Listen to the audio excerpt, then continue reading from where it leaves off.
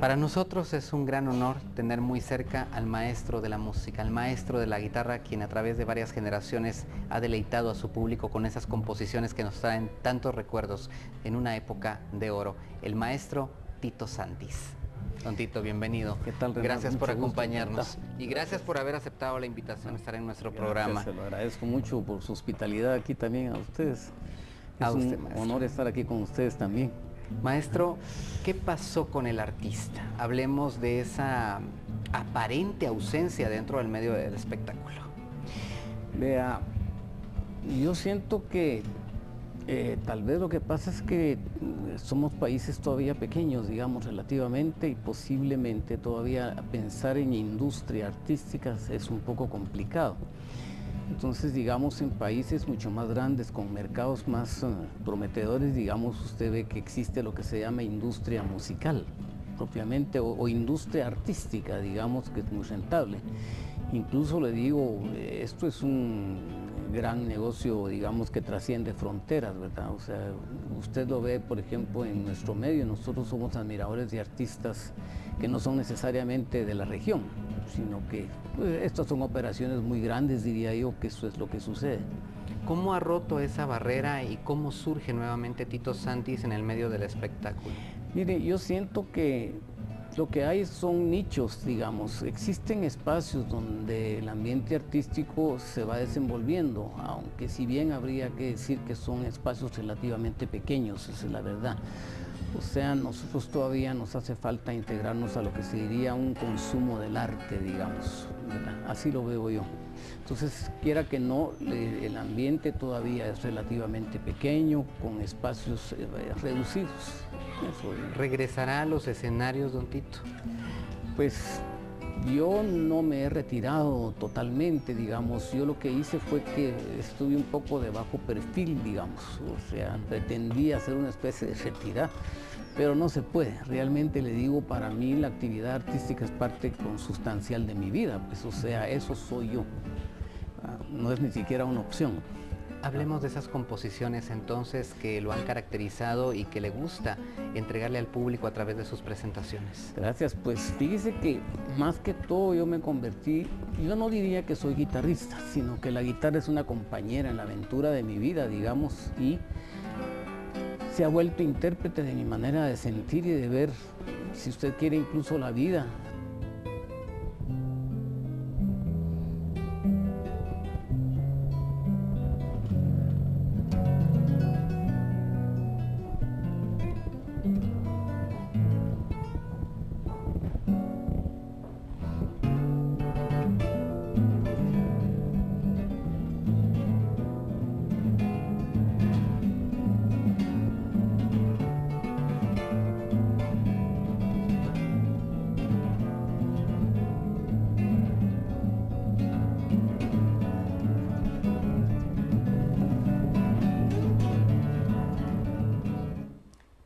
Tito, enhorabuena. Hoy es el concierto a las 9 de la noche en Trova zona 4, para que usted tenga un acercamiento importante con este artista. Y bueno, hablar a las 6 de la tarde que también acercaremos, nos acercaremos a lo que será un festival de música muy importante para Fraternidad Cristiana. Inicia hoy a las 6 de la tarde, sin embargo, pues termina a las 10 de la noche, pero estará sábado y domingo.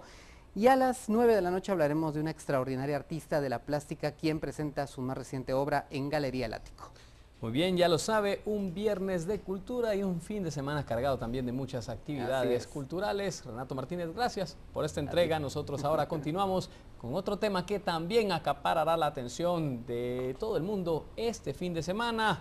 Inicia la jornada de octavos de final en el Mundial de Brasil 2014 y Portugal no pudo accesar a la fase de grupos. Veamos a continuación el resumen.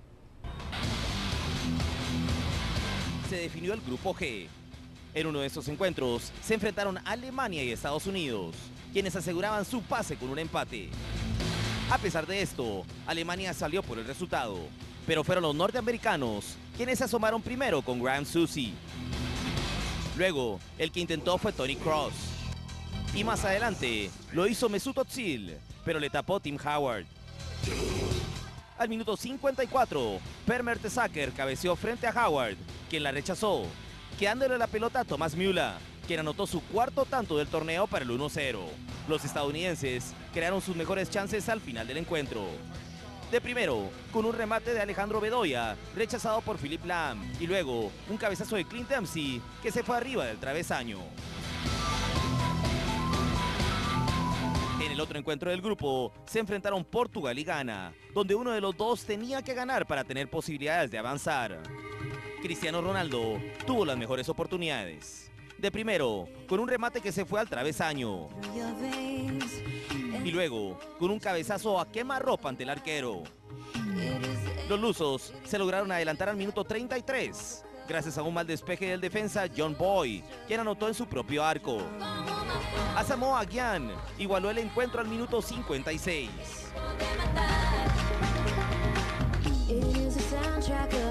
De un horroroso despeje del arquero ganés, Cristiano Ronaldo aprovechó para su único gol del torneo y la victoria de 2-1 de los portugueses.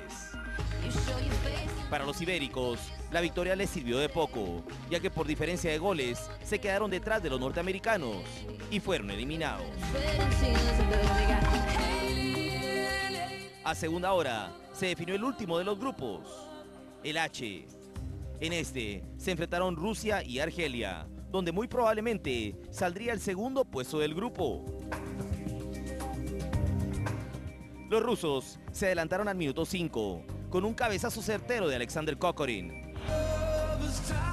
Al 59, una mala salida de Igor Akinfev resultó en gol de Slim Slimani, quien cabeció con el arco libre. En el otro encuentro del grupo, se enfrentaron Corea del Sur y Bélgica, en un juego que tenían que ganar los coreanos. Las posibilidades asiáticas se incrementaron cuando Steven Defour fue expulsado al minuto 45. A pesar de esto, fueron los belgas quienes se anotaron por intermedio de Jan Bertogen. Con ese resultado, Bélgica terminó perfecto en el grupo, mientras que Argelia les acompañó a los octavos de final.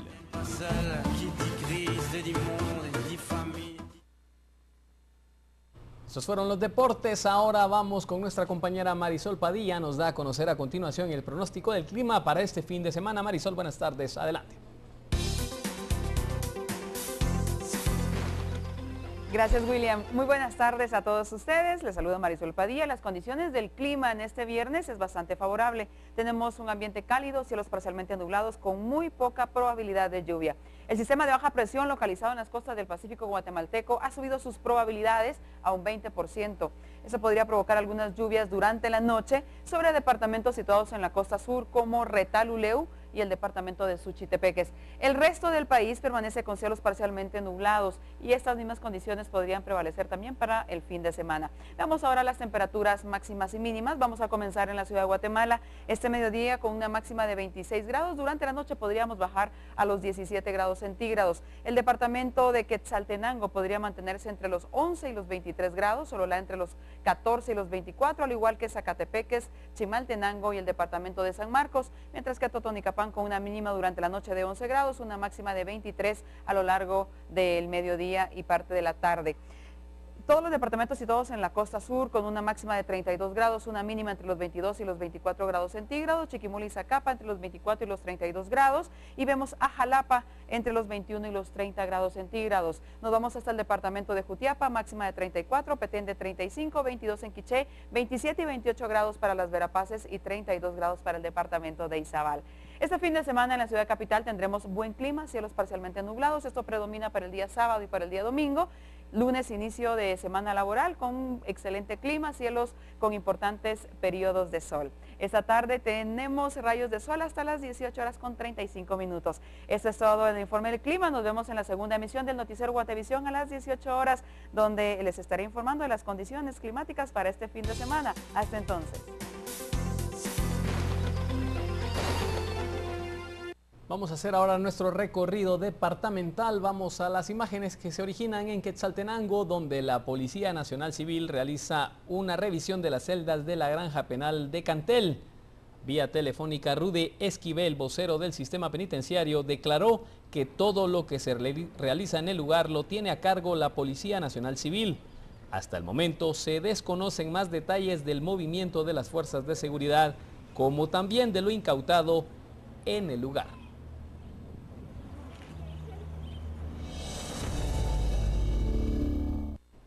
Y un hombre del caserío Santa María de Aldea El Tablón Sololá fue asesinado en la madrugada. Su esposa lo identificó como Joaquín Chiroy. A pesar de que la cabecera fue declarada como un municipio amigo de La Paz, autoridades indígenas y comunales están preocupadas por los hechos de violencia. De hecho, este es el primero que se registra. La esposa relató que salieron temprano de su vivienda para tratar de ir al mercado, pero al regresar ella a recoger unas cosas, vio y escuchó los impactos de bala. Seguido, su hijo menor le dio noticia del lamentable suceso.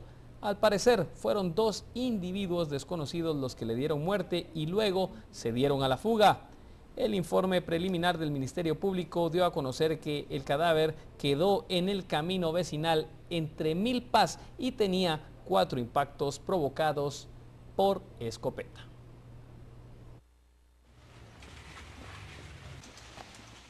Un tema que está bajo investigación. Una mujer dio a luz a su bebé cuando iba camino a realizarse un examen de ultrasonido que le fue requerido en el Hospital Nacional de Retaluleu. Momentos después, la mujer dio a luz y lamentablemente su bebé falleció. Esta es la noticia que nos da a conocer nuestro compañero. Veamos.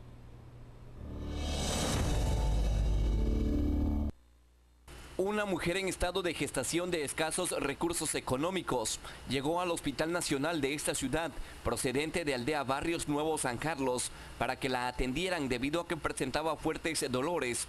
Los doctores no la revisaron y la enviaron a sacar un ultrasonido a una clínica privada. Cuando se dirigía hacia el lugar, los dolores fueron más fuertes, por lo que pidió posada en una vivienda donde dio a luz un bebé. Buenos días, eh, lo que fue a Cruz Roja llegó una persona de sexo femenino informándonos sobre una persona en estado de gestación que ya había tenido trabajo de parto, el cual el bebé eh, estaba ya fuera juntamente con la placenta. La unidad 1703 de Cruz Roja Guatemalteca, delegación Retauleu, acudió al lugar en donde fue dirección enfrente de lo que es el núcleo de acá de Retauleu. La mujer fue atendida por vecinos del lugar. De inmediato fue llevada al Hospital Nacional por elementos de la Cruz Roja, pero por falta de atención falleció el pequeño. yo llegué al hospital y me, me examinó el doctor y me dijo que el, doctor que todavía no eran, no eran dolores de parto, que tal vez podía ser una infección. Y ahí me mandó a hacer una ultrasonía, me dijo que iba a entregar un poco de orina para unos exámenes, entregaron el examen y él me dijo que me venía a hacer una ultrasonía y yo aquí me bajé porque ya no aguanté. Se buscó la versión del doctor Francisco Villatoro, director del Hospital Nacional de esta ciudad, pero indicó que hasta el día martes estará dando información. Qué lamentable esta situación. Vamos a más noticias. Los presupuestos departamentales aprobados para el año 2015 están causando fuertes conflictos entre los alcaldes de Jutiapa. El Consejo Departamental de Desarrollo de Jutiapa aprobó el presupuesto del año 2015. Más de 68 millones de quetzales serán distribuidos en 17 municipios, pero hay malestar de algunos alcaldes tomando en cuenta de que fueron afectados con su presupuesto. El caso del de Jutiapa y el del Progreso, que no están de acuerdo. Y resulta que un municipio que pertenece a esta ciudad salió beneficiado con 9 millones 900 mil y Jutiapa con 7 millones. Es injusto lo que está sucediendo acá en Jutiapa. Es un desarrollo que se está deteniendo. Uno de los municipios que se vio mayormente favorecido fue el de Asunción Mita, de donde es el gobernador departamental, lo que le ha generado ciertas críticas. Sin embargo, él manifiesta que no es solo él el que aprueba el presupuesto. Más o menos se hizo equitativo su, su presupuesto, ¿verdad? El presupuesto pues no lo apruebo yo, ¿verdad? Lo aprueban todas las entidades gubernamentales y, y todos los alcaldes, ¿verdad? Estamos llegando a las 2 de la tarde, así concluyen las noticias. Gracias a ustedes por su sintonía. A las 6 y 9 de la noche más información. Y recuerde que este fin de semana también tiene noticias acá en Canal Guatevisión. Quédese por ahora con la programación de este canal. Muy buena tarde.